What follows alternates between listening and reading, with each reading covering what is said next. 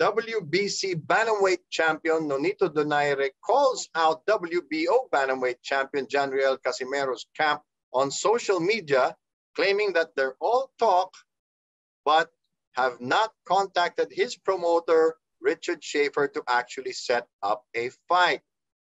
Donaire and, of course, uh, Casimero have had uh, some history, and he's uh, in particular calling out MP Promotions for not making the fight happen. Uh, Ryan, they were already supposed to see action to begin with, right? Before Nonito pulled out of the fight and Rigondeaux stepped in.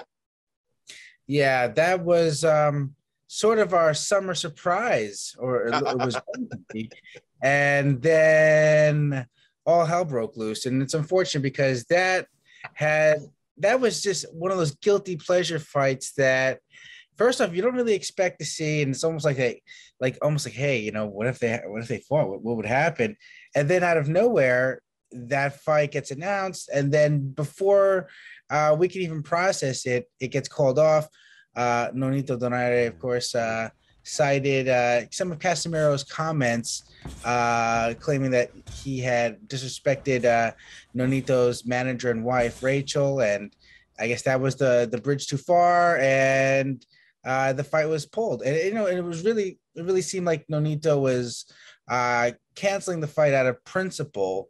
Uh, and that's and that, that's a real uh, punishment there because a that's a big payday for um, for Casimero, which he lost out on, and b um, it was actually a punishment to the rest of the world because then we had to go see Guillermo Rigondeaux fight. So uh, everyone sort of lost out on that one. Uh, there were no winners in that, but hopefully they can put it aside and uh, unify these belts because that's a great fight. That's a great civil war. That's a that's like Oscar De La Hoya versus Fernando Vargas. That's like uh, Chavez versus Oscar De La Hoya. There's a lot of stuff outside the ring that sort of needs to be worked out there, and a lot of egos, and kind of want to see that happen.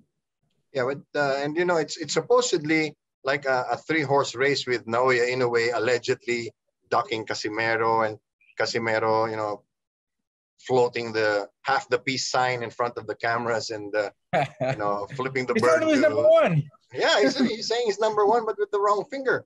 Uh, you know, so he's he's really carrying himself with a lot of swagger, uh, over the top. Uh, some people would say very rude, uh, but seriously speaking, I don't think Nonito would be ducking uh, Casimero by any stretch of the imagination. I mean, this this is a guy who's already the oldest in the weight class to be world champion. He, you know, he's been a replacement fighter. He's uh, he's he's done so many things and accomplished so much. I just really don't see why the fight won't happen.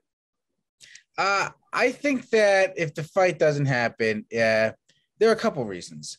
Uh, I think number one, Casimero is he's a good champion, but he's still not that well known outside of you know the boxing circles. So you can kind of get away with not fighting him. So it you know Casimero really does need these other guys like Inoue and and Donaire to sort of lend their credibility to him, and that's what they were you know kind of withholding. Uh, Inoue has already uh, mentioned Ca- on um, social media. He said he wants that fight. They were supposed to fight. The pandemic sort of uh, postponed that fight or cancel that fight, really. And that fight has not been rescheduled yet. I think that, yeah, and that's not certainly not to say anything because, you know, people are who they are.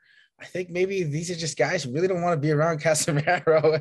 I think that's just the, I don't think it's because of his, him as a fighter. I think it's they don't like him as a person.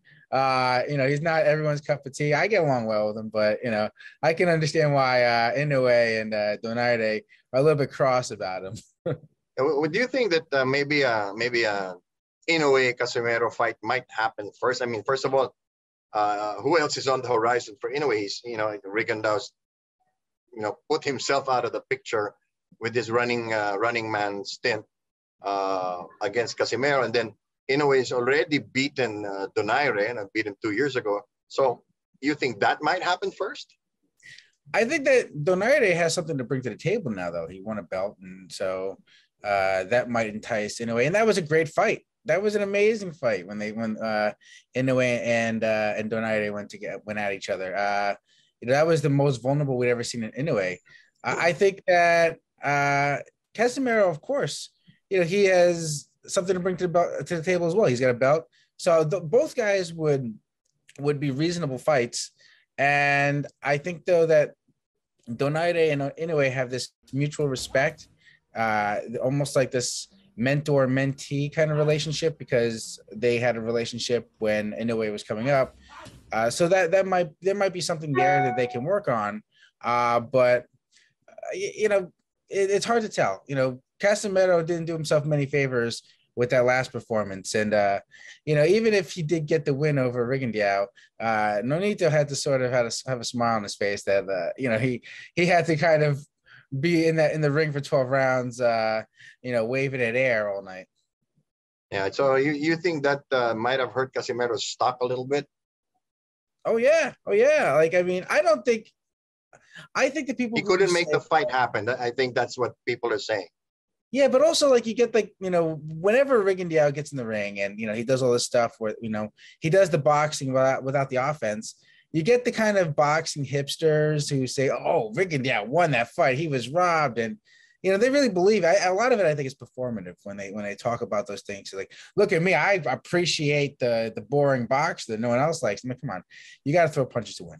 Even even uh, his own corner was saying that. So but you know, enough doubt gets created in people's minds, and you start associating, you know, uh, that guy with with a loss, and you know, they can kind of hurt a guy's credibility a bit. So, yeah, and a little bit, you know, it, it I don't think it helped him at all.